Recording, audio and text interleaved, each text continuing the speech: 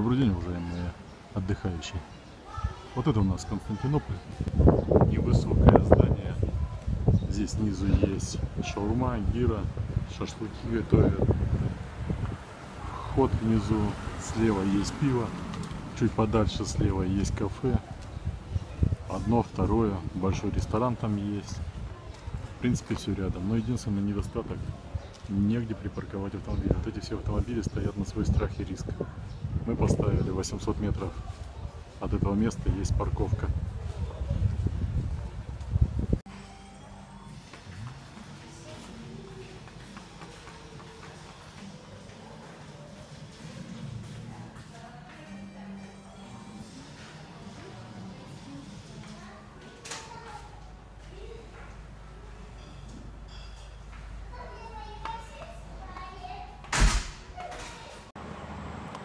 Здесь получается на этаже находится 11 номеров. Ну, 10, вернее, номеров. Мама, постучимся. Такой вот уютный номер. Кондиционер, светильник, двухспальная кровать, белье чистое, полотенчики. Есть такая вот раскладушка еще раскладывается, можно использовать ее. Шкаф, ну, столик, телевизор, кому интересно будет. Это в туалет покажу, входная дверь. Сейчас на улице генераторы молотят. Свет выключили, поэтому такая обстановка.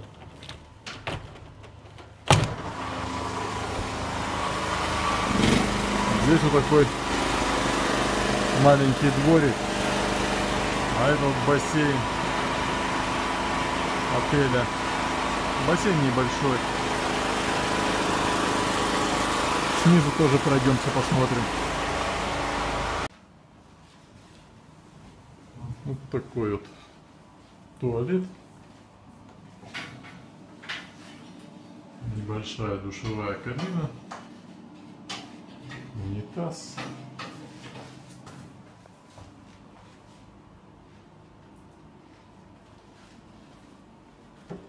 В принципе, номер чистенький, не ободранный, уютный.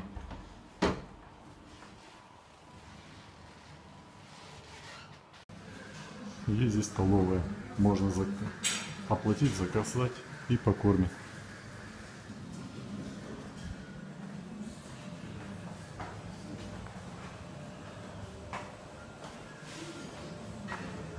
На втором этаже вот такой есть типа балкончика, не балкончика, со столиками, с зонтиками.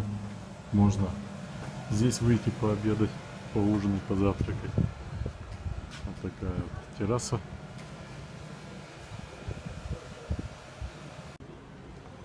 Можно детскую площадку здесь же пройти.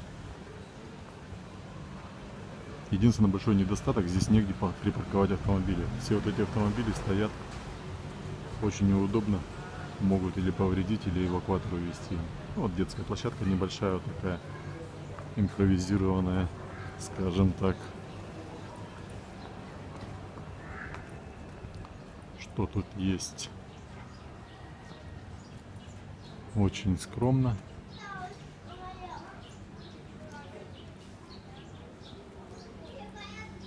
Ежевикой все здесь испачкано.